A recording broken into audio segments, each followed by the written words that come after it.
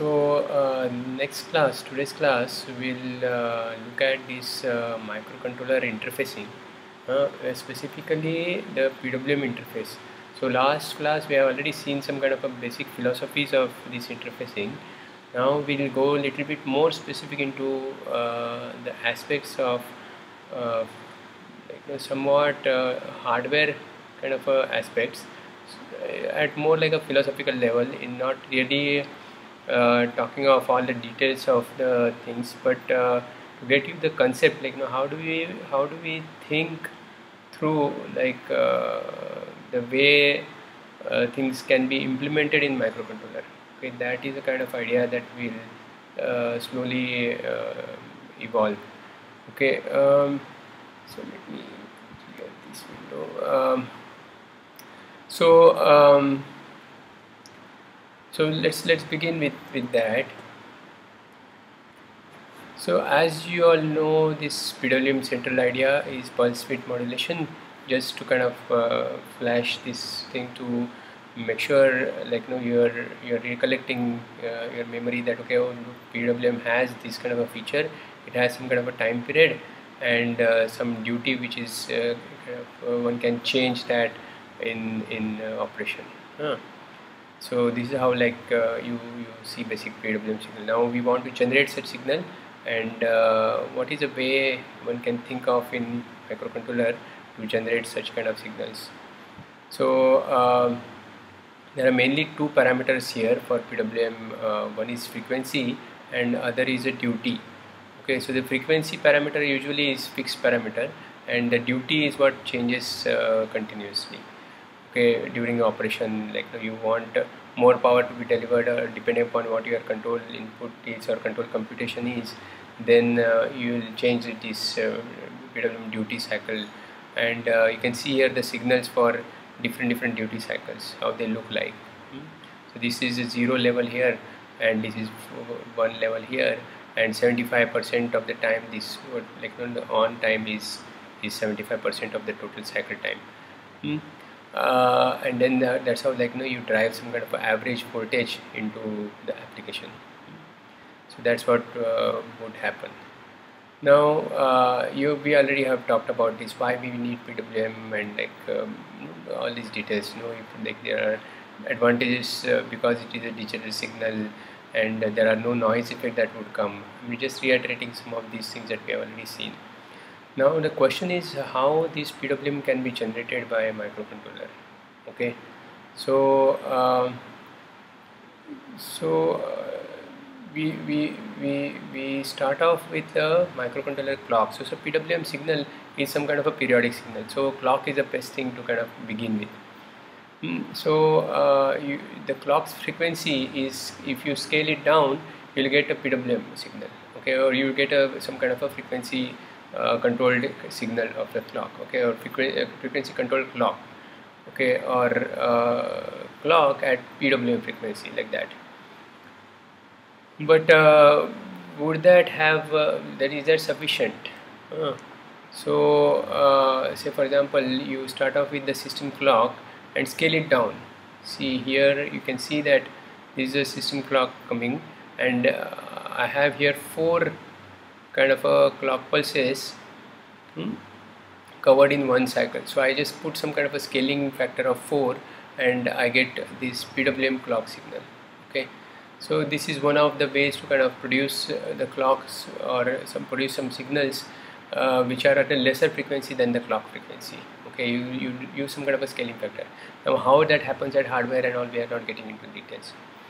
Now the question is uh, once you have this say some kind of a clock signal for PWM then how do you kind of get a, a duty cycle for, for that? Mm. So that is what is can you think about like you know just a minute I will pause here and um, you know think about it and then like you know you proceed okay you can pause here and think about suppose you have this PWM clock signal which is at running at a frequency which is uh, you know some kind of a clock frequency for PWM interface. This is not really PWM frequency.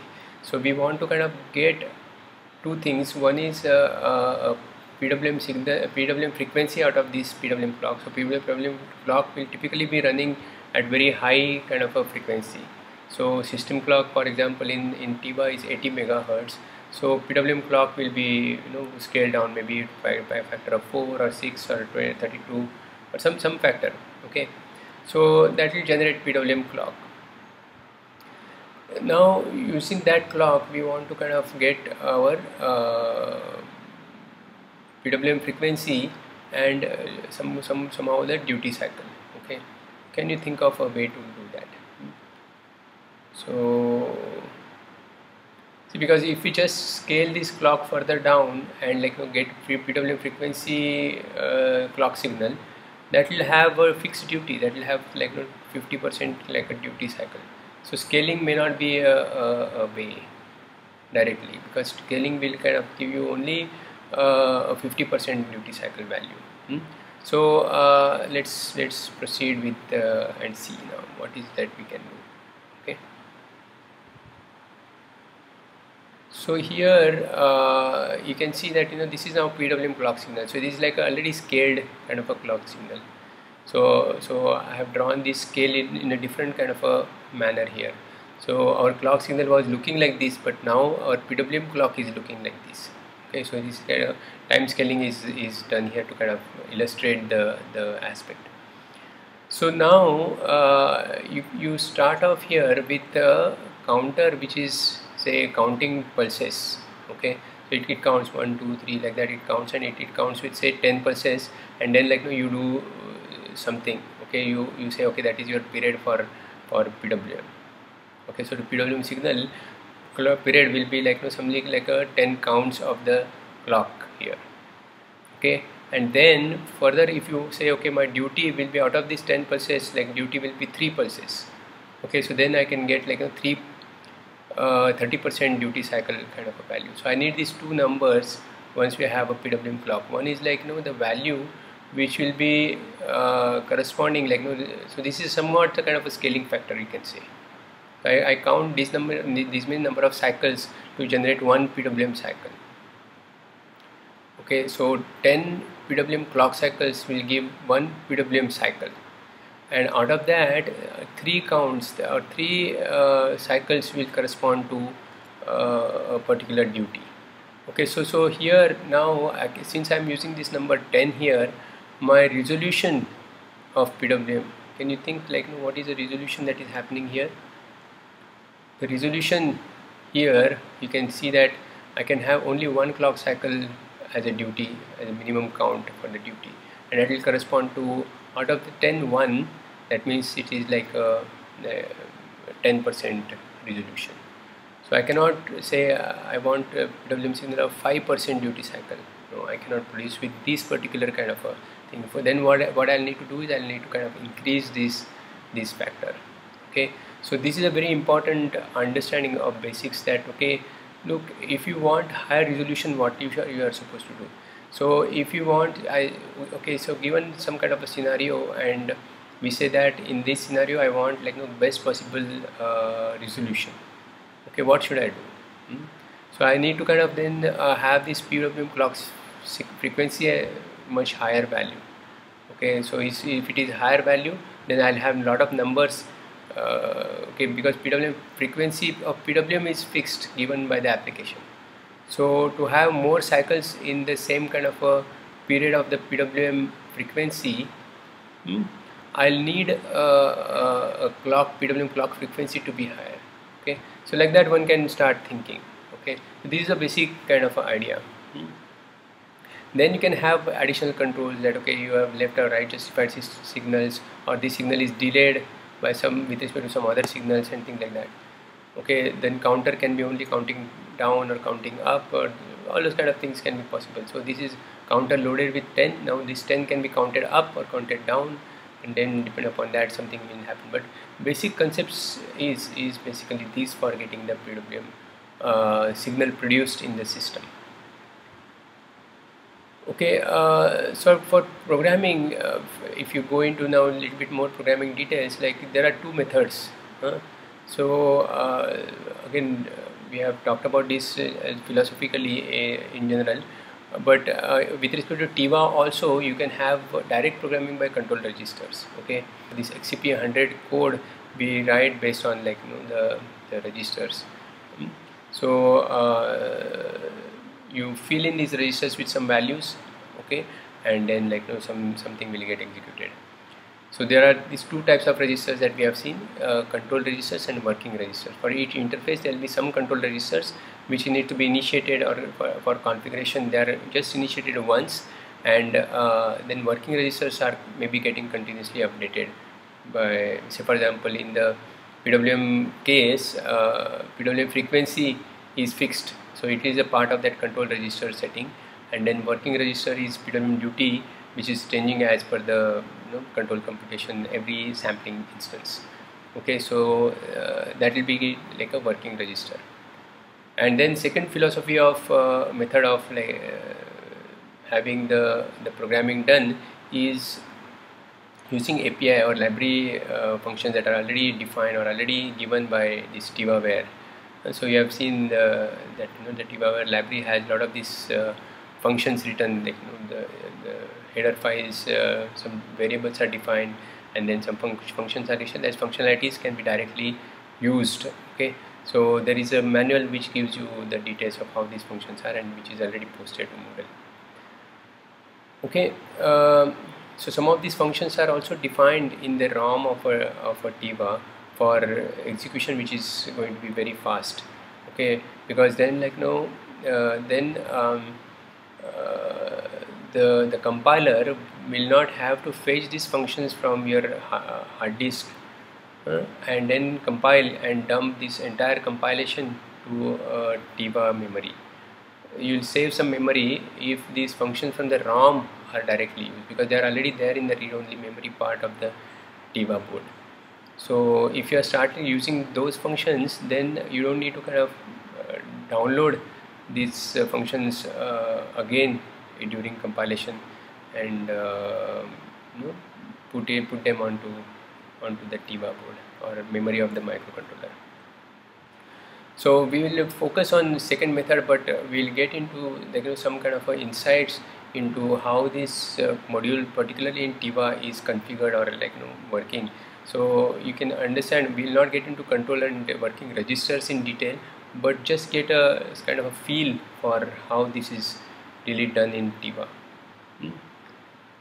so uh, it Tiva like if you see the data sheet you'll see that okay it has two PWM modules PWM0 and PWM1 correspondingly there will be pins which are named. And each module will have four generators okay generating two independent PWM signals so how many total PWM signals will be there? 16 PWM signals can be generated then. Okay, so two modules, four generators, and each generator generates two signals. So eight signals is uh, like know what uh, will be generated by one module, and you have two modules. Like uh, each module has four generators. So so you have 16 PWM signals that can be generated and although like uh, I must caution you that okay all 16s may not be available for uh, the Tiva launchpad that we are we have been working with because only some few signals will be available for programming uh, different interfaces because otherwise there will be too many pinouts that uh, have to be done on the board and that will be too cumbersome for the board. So there's like some kind of a bare minimum base minimum functionalities that they have provided out. Although the chip that is there existing on the board will have all this capacity but the the hardware pins that are gotten out from the board will not be uh, all the pins okay? Will be some selected pins have been gotten out. Okay so then uh, each PWM generator has has all these kind of features okay? So you can read through these and see like if you if these things can make sense okay so how do you kind of make sense of these things okay? So you to make sense of like you know some of these uh, you know write up or functionality details you need to refer to the block diagram okay? This is a block diagram of this uh, you see this PWM generator block okay? So this is a block diagram for this PWM generator block and in that there are these uh, different different kind of components here. There is a timer there is a comparator then there is something called signal generator and then then deadband generator and then you will get your PWM signals out uh, for this particular generator block. Hmm? so uh, so each module you remember like has four such generator blocks. Okay we are just looking at one generator block which will generate these two PWM signals A and B. Okay and uh, input it will take as a PWM clock. Uh, so uh, so by seeing this diagram you be you should think you know what you can do what you cannot do. Uh, can you think about that pause a moment and think about okay what you can can do and what you cannot do? So one can see that the PWM clock is same for one particular PWM generator block. Or for that matter this clock may be going in other blocks also in the same way. Okay? So you cannot have independent clock for these PWM A and B signals okay? So the PWM clock will be same for both the both the signals or for that matter all the generators okay? So so like that one can start kind of like you know concluding some things. Hmm. Uh, then there is some kind of a timer which will do some further kind of a timing for, for this clock and then then there will be comparator which will so we will see how how these these things work. So so the signals will go typically like you know this is a flow of the signals. Then we start with the timer and then timer uh, the signals will go to comparator or some timer signals will also go to the signal generator. And then uh, from comparator you have these two outputs coming compare A compare B and uh, they they use some kind of a timing part here also and uh, produce this PWM A and PWM B signals and then those signals are further processed by this uh, deadband generator block and here so this is a kind of a signal flow is what one can understand. Hmm? so uh, like that you can think about and you can have your own conclusions drawn.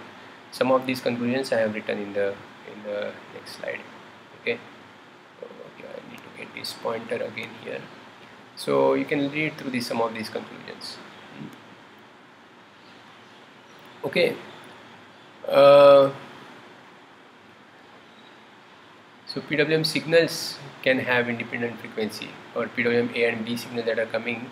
They would have a, a, if the count uh, is specific to the channel. The, the, so you need to check whether there is a count for the specific channels same or same count is given for both channels. Something like that you, you check that data and you will be able to kind of see okay oh these uh, PWM signal frequencies can be changed by changing the count for a specific channel.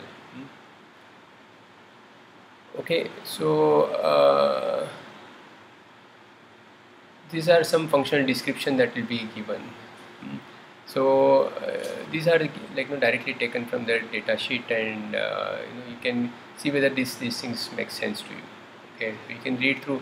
So uh, this is just to kind of give you some feel of uh, you know, typical interface will have this kind of description and how do we make sense of this description to see okay how things are working inside internally. Okay uh, say for example if you are directly focused on the APIs and functions you know you may or may not need to know so many details. Okay you will be able to kind of program even without knowing these details. Okay but uh, we need to know some of these to uh, do little finer programming. Okay so once you have some things going you want like you know little more finesse of uh, control over signals that are generated. Then like you, know, you need to understand this and then see okay what is possible what is not possible. Uh, so so if you understand for example there is this modes of uh, timer which has count down timing uh, timer mode or count up and down timer mode. Okay? So in in count down mode it will only count down and then at the end of the uh, count then okay or wherever this count becomes zero it will again the load the same value and again like no start counting from that to zero. Okay so these kind of things uh, is is one kind of a mode of operation for timer. Other mode will start off with counting up and then again in count down. Again count up from zero and then again count down. Like that it will start. So how do you how do they use this further? Okay then it will have some some more kind of a details that are given uh, then there is a direction signal for counting up and down. So this this this signal will be useful typically when we are doing count up and down mode so that you know which is the direction getting going ahead with so that that signal will be coming out of the block. Hmm, so if you see there will be some direction signal coming out of the counter block somewhere. Yeah see this is a direction signal okay from the timer okay. So like that we can look at uh, the diagrams with respect to the uh, description that, are, that is given. Hmm. so let us now get into a uh, little bit more kind of a uh, meaning of some of these things in terms of uh, how things happen inside the timer. So this is like you know this is like you know functional description for different different blocks now we, we are going through details. Okay and uh, first is a timer block and timer block has these two modes of operation. And then there is a comparator block which will keep like you know uh, whenever this count uh, happens to be the value which is given in in the comparator block then it will produce some kind of a pulse. That is what is a function of comparator block. Uh, this will be more clear when we see the uh, actually the, the, the, the figure of this. So we are looking at these two blocks timer and comparator they are, they are typically working in sync with each other. So timer keeps on like you know giving the uh, the, the, the, count which is kept, kept on uh, reducing as for every PWM clock cycle. Okay so PWM clock cycle ticks and the counter reduces by one. Okay next tick counter reduces by another another uh, value. Like that it keeps on kind of decreasing the uh, successively the the value uh, of the count. And when the count uh, becomes equal to say this this uh, PWM compare A signal then some kind of a pulse will be produced on this compare A output. And like same thing will happen with this compare B output. What is the signal that will look like on these these lines? Is that what we, we will look now? Okay can you think uh, typically uh, suppose I am having a down timer then like if I say uh, when the count down value becomes equal to this this particular value PWM CMPA then I get some small uh, like no clock pulse on the uh, on this compare A signal. Otherwise this compare A signal is going to be zero. Given this description can you think and uh, plot for example like know how these signals are going to look like? Hmm? That is exercise uh, you can do pause and do little bit and then move on to the next slide. Okay so uh, this slide now actually gives you this uh, data. So this is a value that is loaded some value which is loaded in the counter and it starts counting it down. Every clock cycle one countdown will happen. Okay uh, and then it goes to zero and again it starts loading the same value.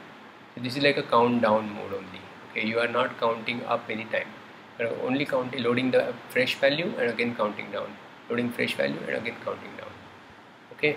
So uh, the, the, similar kind of a thing happens when we go for the count up and down. Where here is here now you will have a count up first. You reach the load value then like you start counting down.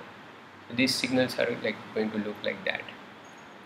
Now whenever this compare a and compare b values are hit by the during the countdown process. Of course for that compare a compare b values have to be lesser than this whatever the value you have loaded in the counter.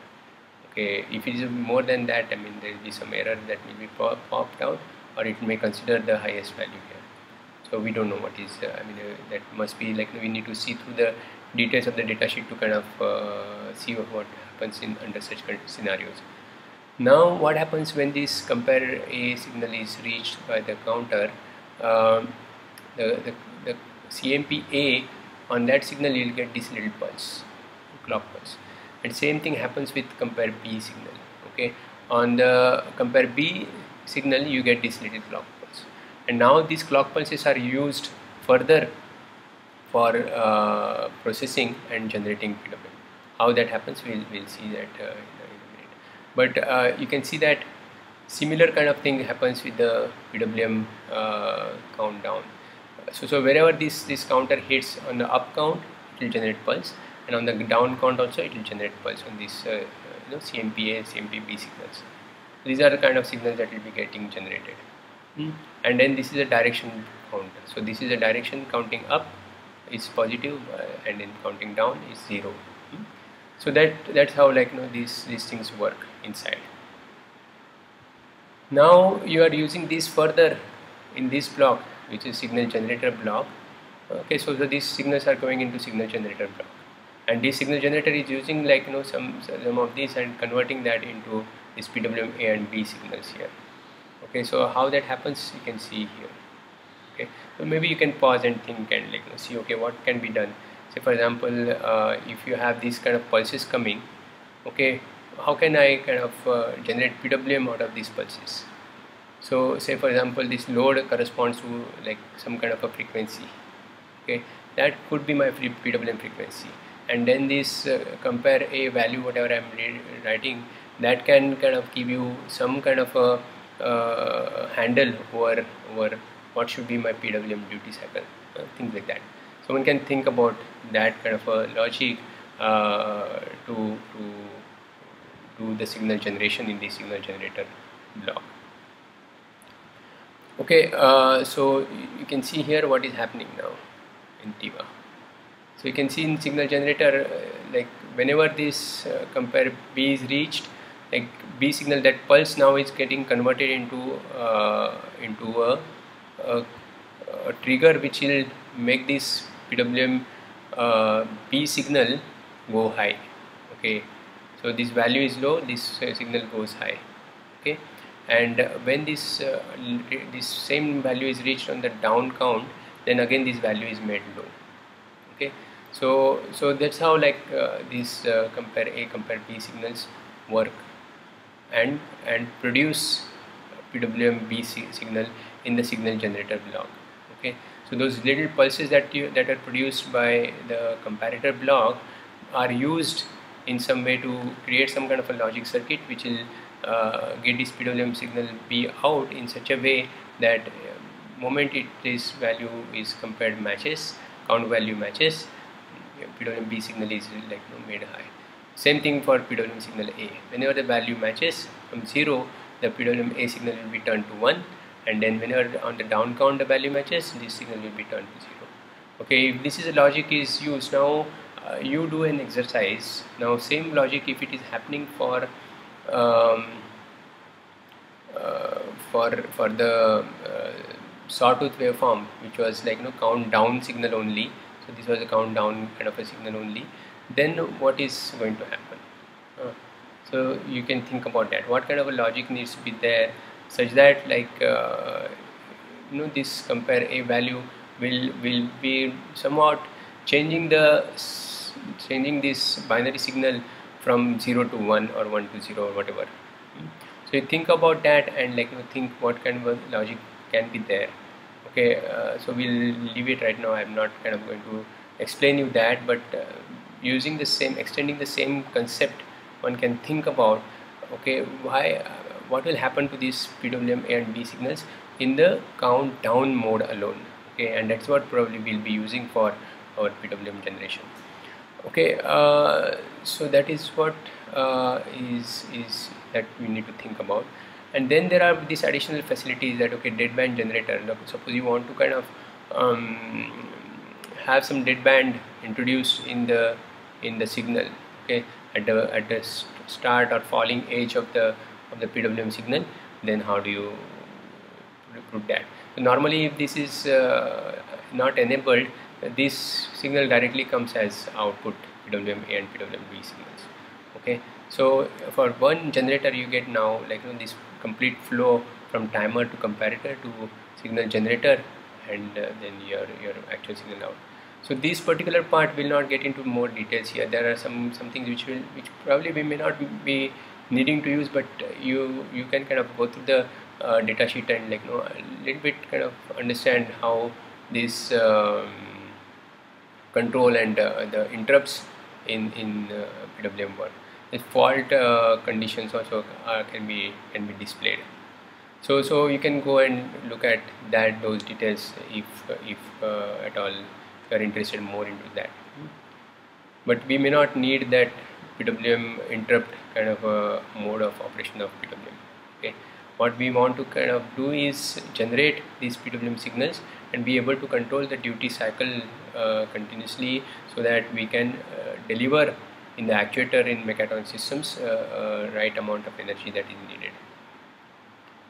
Okay uh, so this is a deadband generator a little more details about you can go through. So if it is disabled then like no you don't have this uh, shifting of the signals happening. But uh, if there is enabled and then they depend upon the value that is given in some registers like you will have some delay produced in PWM uh, a prime signal which is the actual output of the PWM okay? So so these signals will get delayed a little bit.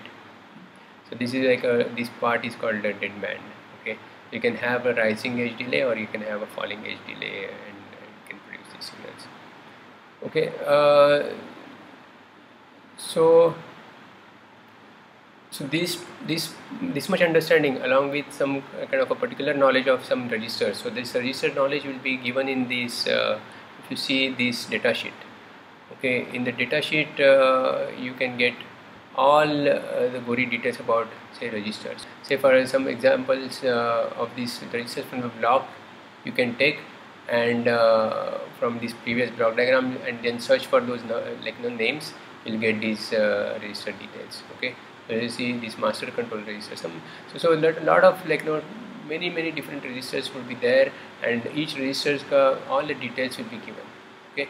So so this is like a register map. All the registers are, are given here okay? So you can go through this registers and like you know, make make some familiarity okay? Uh, if you directly want to use this registers and program great. You you can do that uh, thinking okay all the course if I understand all the registers uh, now that I understand his main, main philosophy if I further understand the register details I'll be able to uh, you know control this uh, uh, register based programming. Or I'll be able to generate this PWM signal at the register kind of a level. Okay this is how uh, we will uh, go about programming for the register level. But uh, so so we'll we'll do the programming mainly in APIs to begin with. Hmm. so later we may not need also to get into the register level programming but uh, maybe as a part of some academic exercise uh, we can take some simple thing to to program uh, by using the register level details okay so that we have that kind of a grip over the over the, over the programming uh, of this microcontroller. Okay, uh, so for now for uh, typical typically by use for using this API or library for programming, we'll need to do something. Uh, okay, some process need to be followed or some steps need to be followed. Okay, so we'll, we'll look at those steps now okay these other block details I, will leave it to you to kind of go through and uh, you know understand if at all the situation or needs comes in your project this will this may be useful so uh, so these are the typical steps that that are uh, there for the programming with uh, know, library functions. So you need to make sure that okay your these header files are are there huh, uh, in the library. Okay so in driver library you will have pwm.h and pwm.c files. They'll be there and uh, they'll initialize a lot of variables that are needed for this uh, so so the register level programming will you'll need to know some of the base addresses and uh, the, the, the values of the hardware register addresses which will be already uh, put in this some of these uh, header and library files. Then you don't need to know those uh, uh, detailed uh, names and description. So you just need to know these are some of these functions how they work and like you know things will be fine.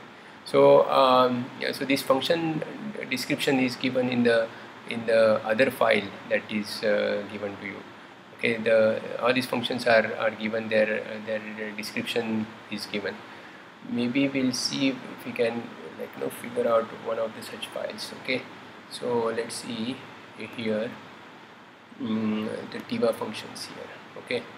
So say here I have this pulse width modulation only okay? So this pulse width modulation if you keep, if you see this base they have all API functions given and then programming example also is given. Okay? So you can use that to to get started with this. Uh, so see this driver is contained in this uh, pwm.c and pwm.header h file. Okay? So uh, there are a lot of functions. These functions directly uh, reading those function details you may not get to this uh, um, procedure for procedural aspect like okay what functions to be used and like you know, when or what is the sequence of using some functions uh, that is a uh, little bit tricky to figure out.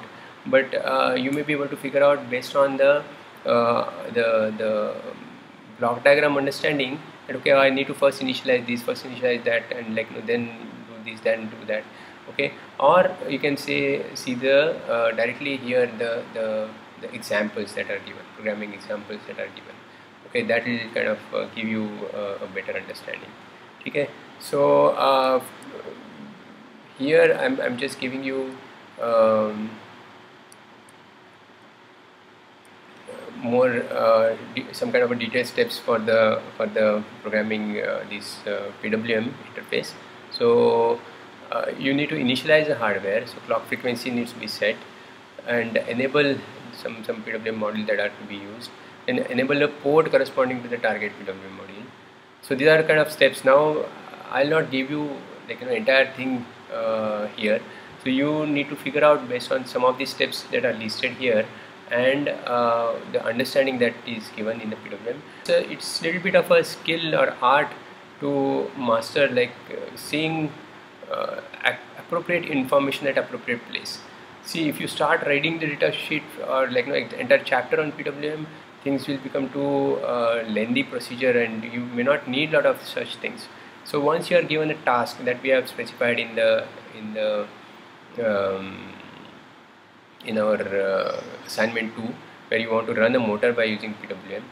Uh, so to, to get to that task you need to generate PWM signals on, on two signals okay two uh, pins actually and one pin will be connected to uh, one of the motor inputs and other pin will be connected to other motor inputs. There are two motor uh, digital inputs that are to be given for the motor driver. Hmm? so the motor driver datasheet also will be uploaded uh, on the thing. I'll so these are different different uh, uh, things. The important uh, part here is like you know you need to configure uh, this PWM module in the, there are many different kind of aspects of configuring. So configuring the clock so we saw that block diagram needs a clock. So this this is done by this command then uh, you you want to uh, you know this pin size as this I was discussing in the couple of last classes also same pin is is used for many different uh, purposes in TIVA so in TIVA or many microcontroller systems for, that matter. So you need to kind of specify that okay oh look I want now use to use this pin as uh, for the PWM kind of a generation. So I, I say you say is a pin as a part of GPIO but I, I want to use it for PWM purposes. That you need to specify somewhere. Hmm? so that is where like you, know, you need to make the pins as uh, pin type as like you know, PWM pin. Hmm? so once you configure this as a PWM pin I mean you typically will not use this as a input output pin again in that application because your hardware is connected to this pin now. Okay? So you cannot say okay oh, I'll, I'll now make it uh, you know use in, the, in my pro same program once sometimes it is used as a uh, PWM pin and sometimes it is used as a digital input pin. That may not happen because your, your, your hardware is fixed there. Okay? So uh, so you need to kind of make a choice of which PWM modules you need to use or given the uh, you know number of pinouts and uh, um, what all application uh, needs you need to kind of make a choice of which PWM module you need to use and which kind of a pin you need to configure as PWM pin. So that those decisions are fairly simple. You will be able to see the pin maps and, and that from that maps you will be able to kind of uh, match your application needs versus uh, module uh, which pins are available.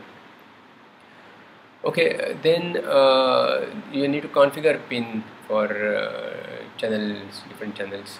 Hmm. And then uh, so it's PWM generator configuration. So now we know what is PWM generator okay in the block. So in in that you need to configure that PWM generator. So it will typically have whether this uh, it, this will have a count up or count down. Those kind of things will be somewhere specified. Mm? oh uh, forgive me about this. This is PWM module I'll change that huh? Uh, is not QI module this PWM all these are functions for PWM modules mm? uh, set the period of the PWM then like uh, you, you, you enable finally the PWM uh, so so like that you will have these different, different functionalities which are re regarding the configuration of module and then you need to have some functionalities which, which are regarding some output uh, of the PWM okay so like that you you set set the PWM period you set somewhere PWM duty and and get your program going. So so I'll leave you with this kind of understanding and uh, you can see now the example program and other things to to figure out how things are really working. What are what is are what are these each of these functionalities might be doing? Uh, play around with the parameters and see how is how they are affecting your PWM generation signal and all those kind of things uh, you know you, you can play around and do it yourself. Okay so uh, that's where we'll stop here now and um, then uh, what uh, so further we are going to kind of uh, we may look at a little bit like this little more details about quadrature encoder interface as well because these are the two primarily important interfaces for us to use from TIVA system.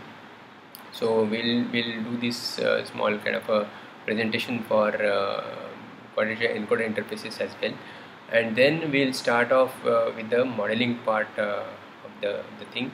And while modeling we'll start exploring like you know how these models really work in practice uh, so that is our like no future direction to go. So here we'll start basic getting basic understanding about how to run the motor.